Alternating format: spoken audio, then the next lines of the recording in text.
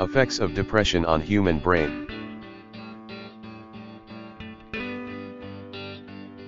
This video was produced based on request of one of our viewers.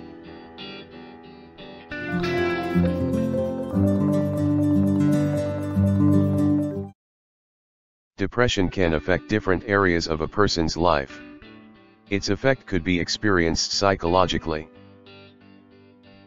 Does it affect the brain? If yes what structure are affected?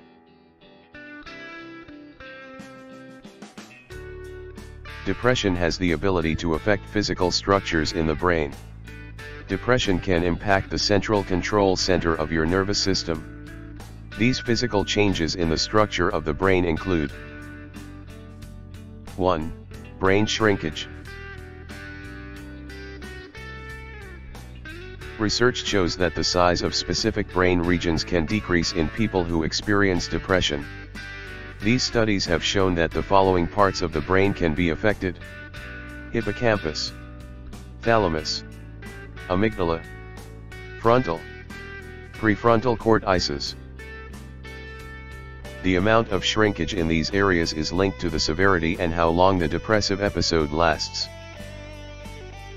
It is important to know that when a section of the brain shrinks, the functions associated with that particular section is also affected and reduced.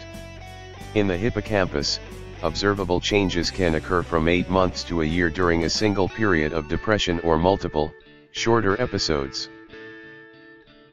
Championed with activity of memory storage, the hippocampus also controls cortisol production. When cortisol production is increased and becomes too high with time, neurons in the hippocampus are affected leading to shrinkage and in turn memory and behavior associated with self-awareness are disrupted. High cortisol levels also affects the prefrontal cortex which controls emotional responses, attention, planning, and decision-making in people. Shrinkage of these can potentially contribute to a reduction in empathy in individuals who have postpartum depression, PPD.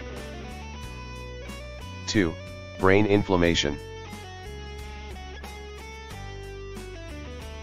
Brain inflammation during depression is linked to the amount of time a person has been depressed.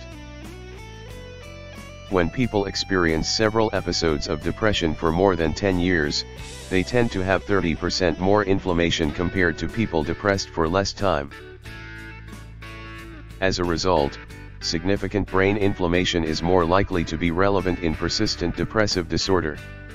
Since brain inflammation can cause the cells of the brain to die, it can lead to a number of complications, which includes shrinkage, decreased function of neurotransmitters, decreased neuroplasticity or ability of the brain to change as the person ages. All these complications can lead to dysfunctions in brain development, learning, memory, mood, uncontrolled brain inflammation can hurt or kill brain cells prevent new brain cells from growing, lead to thinking problems, speed up brain aging. Due to high level of cortisol in depressed people, the amygdala is enlarged and since the amygdala is responsible for emotions such fear and pleasure, it could lead to disturbance in sleep patterns.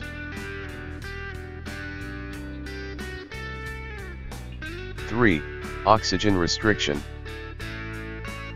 Depression has been linked to reduced oxygen in the body. These changes may be due to changes in breathing caused by depression. When there is hypoxia due to lack of sufficient oxygen, a cellular factor produced is elevated in specific immune cells found in people with major depressive disorder and bipolar disorder. The brain is highly sensitive to reductions in oxygen, as this can lead to inflammation, brain cell injury, Brain cell death. With knowledge on brain inflammation and cell death and their symptoms associated with development, learning, memory, and mood. More striking is that short-term hypoxia can lead to confusion, much like what's observed with high-altitude hikers.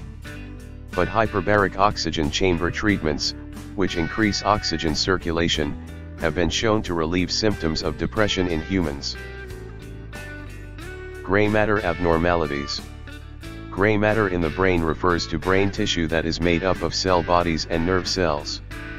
People with depression have been shown to have thicker gray matter in parts of the brain involved in self-perception and emotions.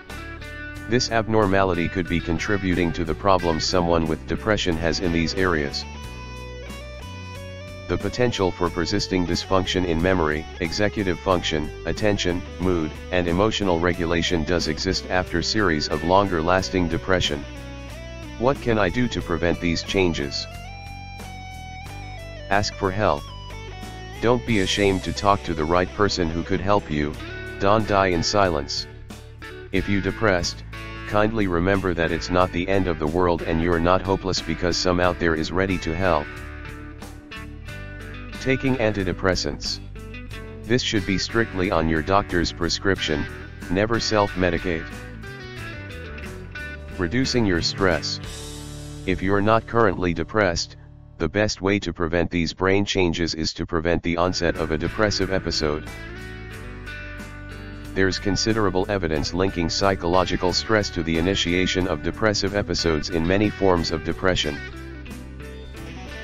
Simply asking someone to decrease the amount of stress in their life can seem impossible or daunting but there are actually some simple and short changes that you can make to help reduce your stress.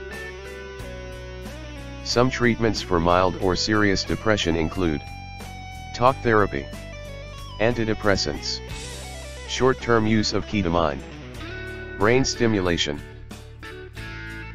Exercise Meditation Healthy diet change Suicide is a serious symptom of depression. Depressed people have trouble remembering fine details of events they've experienced. Depression leads to decreased brain activity, don't die in silence choose to speak up and live.